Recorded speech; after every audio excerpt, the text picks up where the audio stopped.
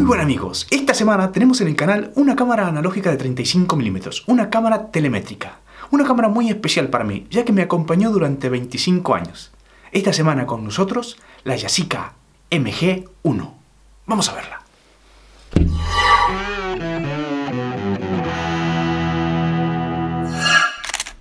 Sí amigos, la Yasica MG1 es una cámara analógica de 35 mm telemétrica, fabricada en Japón, allá por el año 1975.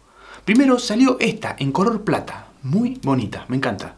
Pero luego sacaron una totalmente negra. Totalmente negra. Esta es más clásica, en aquella época se usaba mucho esta combinación de colores y en Yasica era algo muy particular. Con esta cámara me inicié en la fotografía.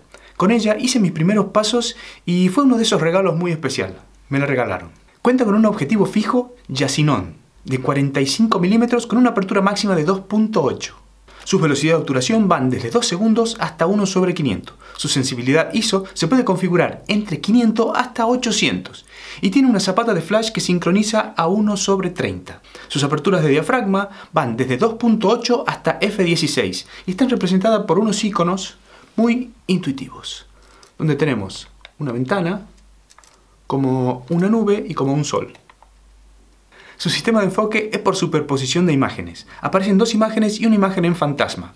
Y cuando vamos moviendo el enfoque, vemos que las dos imágenes coinciden. Al coincidir las dos imágenes es que tenemos la imagen a foco y disparamos. Su distancia mínima de enfoque es de un metro. Un metro hacia el infinito enfoca, un metro hacia atrás no enfoca, desenfocado. Puedes trabajar de dos maneras. Una es prioridad a la apertura del diafragma o bien puedes trabajar en modo flash. Aquí tiene un pequeño interruptor donde podemos elegir las dos posiciones para poder trabajar. Si trabajamos en prioridad de apertura de diafragma, nosotros le ponemos la apertura de diafragma a la cámara y la cámara automáticamente pone la velocidad de obturación. Aquí, en esta parte superior, tiene el fotómetro. Según la lectura de este fotómetro, la cámara pone la obturación correcta para la fotografía. Luego aquí tenemos dos pequeñas luces que nos indican cuando la imagen va a salir sobreexpuesta o subexpuesta, para que podamos corregir abriendo o cerrando más el diafragma. En el visor también podemos ver que aparecen dos flechas, una hacia la derecha, otra hacia la izquierda, con los mismos colores, también indicándonos cuando la imagen va a salir sobreexpuesta o subexpuesta y poderla corregir mediante la apertura. El otro sistema con el que trabaja es en el modo flash, donde la cámara obtura siempre a 1 sobre 30 y nosotros ponemos la apertura de diafragma según la potencia del flash o a la distancia que nos encontramos del objeto que vamos a fotografiar. Es una cámara de obturador electrónico. Eso quiere decir que necesita pilas para obturar a las diferentes velocidades de obturación. Si trabajamos en modo flash, podemos usarla sin pilas, ya que la cámara siempre obtura a 1 sobre 30, tenga puestas las pilas o no las tenga. El tema de las pilas en estas cámaras es un poco complicado, ya que trabaja con pilas de mercurio de 5.6 voltios, y esas pilas de mercurio se dejaron de fabricar ya a finales de los años 70 porque eran demasiado contaminantes. Por lo tanto, no se consiguen en la actualidad. Pero existen alternativas. Podemos adaptar pilas de 6 voltios 2LR44 al hueco de esta cámara. Aquí podemos ver una pila de mercurio. Estas son las antiguas pilas de mercurio. Por supuesto, esta ya no tiene carga. Es del año 75. Tiene sus años la pila y como podemos ver entra en el compartimento perfectamente. Ahora tenemos las pilas de 6 voltios que podemos conseguir en la actualidad. Estas son las 2LR44. Pero ¿qué pasa? Cuando ponemos una 2LR44 en el compartimento, sobra por todos lados. Entonces, ¿qué hacemos? Venden unos adaptadores en Amazon. Unos adaptadores que sirven para convertir estas pilas pequeñas a estas pilas grandes.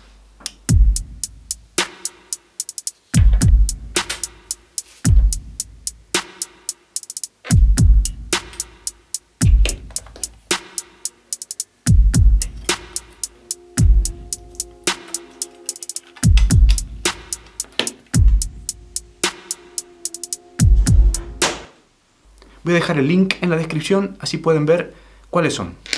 Otra solución más económica es una que aprendí en el canal de Emiliano, de Oeste Analógico. En su canal podemos encontrar muchísimas reviews de cámaras analógicas. Les dejo el link en la descripción de su canal. Él en su video nos explica que podemos poner la 2LR44 de esta forma con el positivo hacia arriba en nuestra cámara. Y luego con un resorte, un muelle cualquiera de estos, yo esto lo saqué de una vieja linterna que tenía por ahí tirada, lo ponemos dentro y luego ponemos la tapa. Esto permite que la pila haga contacto con los dos extremos. Y como podemos ver, ya el fotómetro queda funcionando perfectamente. Esta solución del adaptador o el resorte no solo sirve para esta Yasica MG1, también sirve para muchas cámaras que se fabricaron en la década del 70, ya que muchas cámaras llevan este tipo de pilas de mercurio que ya no se consiguen.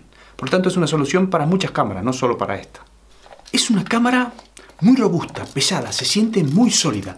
Su peso es de unos 620 gramos. Es toda construida en metal y es una cámara que se la ve muy, muy, muy resistente. Como aquí podemos ver, yo aquí ya le pegué algún golpecito y alguna caída. Tiene sus golpes y sigue funcionando perfectamente después de 30 años. Bueno amigos, ahora vamos a hacer un recorrido por todos sus botones y funciones y ver qué podemos hacer con ella. Empezaremos por la parte superior. En la parte superior tenemos la típica palanca para hacer correr la película. Luego tenemos el disparador con una pequeña rosca para ponerle un disparador remoto y un botón de bloqueo de disparo. Si lo ponemos en AL, que es lock, la cámara no dispara y ahí destrabada la cámara dispara. Luego tenemos un pequeño selector para poder elegir el modo de disparo de flash y el modo de disparo automático, que sería con prioridad a la apertura del diafragma. Luego tenemos las dos luces que nos indican cuando la imagen va a quedar sobreexpuesta o subexpuesta mediante una luz, una zapata de flash y la palanca de rebobinado que a la vez nos sirve para la apertura de la cámara. En la parte trasera tenemos el visor y nada más. En la parte frontal tenemos el objetivo con su fotómetro, el visor. Luego aquí abajo tenemos un selector para elegir la ISO de película, que si presionamos un poco podemos seleccionar la ISO de la película. Luego tenemos el anillo de enfoque, el anillo de las aperturas de diafragma y aquí tenemos un temporizador o timer, que si lo ponemos nos da 10 segundos hasta que la fotografía sale. 1.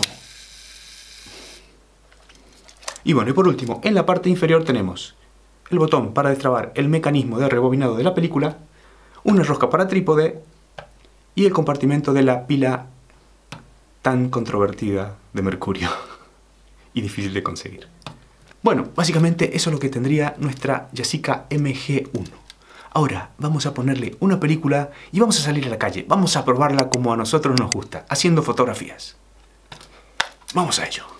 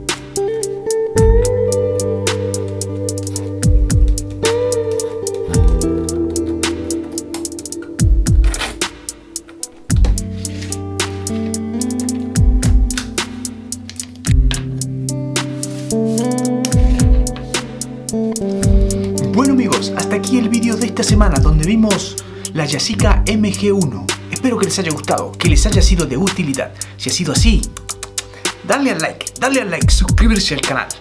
Desde ya, muchas gracias. Y hasta siempre.